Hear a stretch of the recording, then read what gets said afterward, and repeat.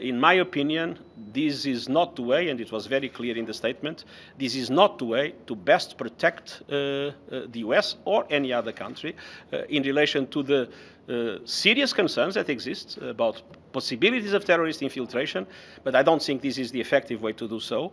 And uh, I think that these measures should be removed sooner rather than later. That was the appeal I made.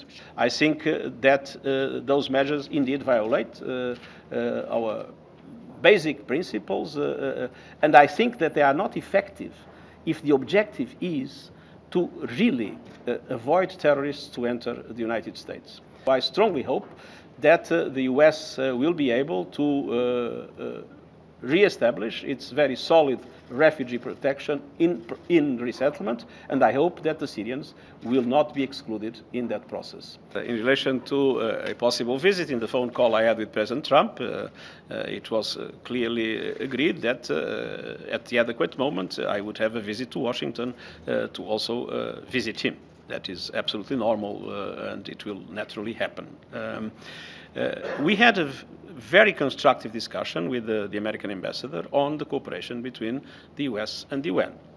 And uh, you know, um, uh, sometimes we talk too much about things that have not happened, and when you talk too much about things that have not happened, you trigger the happening of those things.